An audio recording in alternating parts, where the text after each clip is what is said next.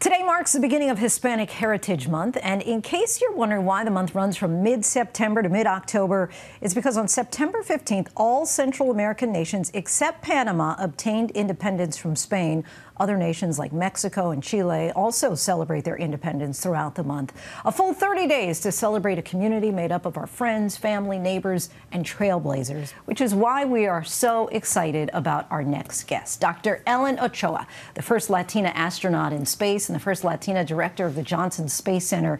She joins us now to discuss how she's introducing young readers to the solar system, inspiring the next generation of aspiring astronauts and scientists. Doctor, Thank you so much for joining us. I'd like to talk about your book for a moment, just to introduce people. It's a bilingual children's book, Dr. Ochoa's Stellar World. We are all scientists to dream big. So we appreciate, uh, it's so excited about the book and, and all the representation and inclusion. Uh, one of the first things I noticed about it is just how colorful it is. Yes. Uh, from the children to their outfits and all of the nature elements. Why was it so important for you to portray all the facets of science and, and scientists this way?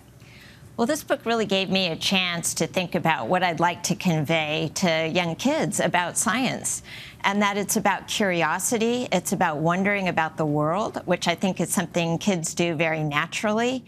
And if that gets them thinking about when I'm older, maybe science is something that I could study or become a scientist, uh, that's exactly the idea I'd like to plant yeah, planting those seeds early on. And, and, diversity, of course, was top of mind here. Beyond just ethnicity, uh, you have different races, one little girl who's in a wheelchair, different hairstyles and textures, even showing a little boy in the kitchen.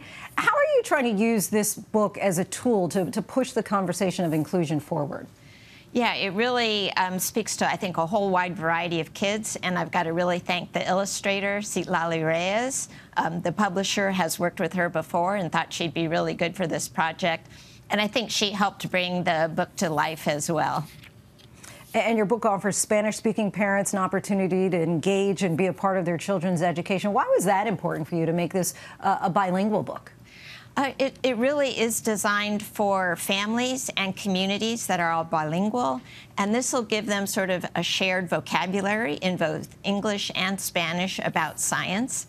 And there is going to be a series of books, one for each of the letters of STEAM science, technology, engineering, arts, and math. And so over the next year or two, I hope uh, people will really get the opportunity within the bilingual community to share this and you know, give them all kinds of ideas about options for their kids' futures. And on a more personal note, your trajectory to become an astronaut almost didn't happen. You and I were talking a moment ago about how we both uh, write children's books, but something else we have in common.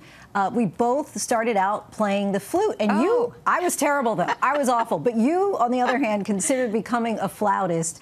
How old were you when you developed this interest in STEM and decided, ah, maybe I'll, I'll leave the flute for just a hobby? Well, I was 10 when I started playing the flute, and uh, I didn't really start taking science classes, uh, classes in college until I was probably 18 or 19. So it, it, was quite a range before I thought I would try to understand more about science and engineering. I got interested in it through my math classes, which I always enjoyed. But I will say through high school and even college, music was really my passion. And your book also encourages the art of exploring right in your own playground. Uh, what are some at-home science-related activities that parents can do with their kids? Well, a lot of it certainly is out being in nature. Uh, of course, uh, being a, uh, in space myself, looking at the stars and planets at night is certainly one area, and plants and animals are something I think kids are, are very interested in. Um, you mentioned there was a scene in a kitchen. Uh, you know, cooking is, is all about chemistry.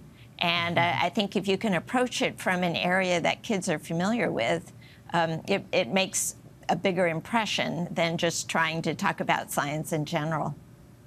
And becoming an astronaut, of course, is no small feat. Uh, for children who are interested in the world of space, what are some affordable avenues available to parents to, to help foster those interests?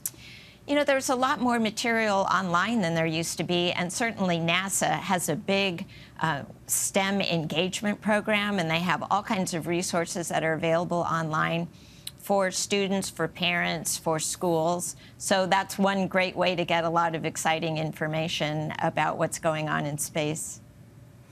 Thank you so much for joining us, Dr. Ochoa. Truly an honor to speak with you. And to our viewers, you can purchase Dr. Ochoa's Stellar World. We are all scientists wherever books are sold. Thank you for having me and for highlighting Hispanic Heritage Month. Hi, everyone. George Stephanopoulos here. Thanks for checking out the ABC News YouTube channel. If you'd like to get more videos, show highlights, and watch live event coverage, click on the right over here to subscribe to our channel. And don't forget to download the ABC News app for breaking news alerts. Thanks for watching.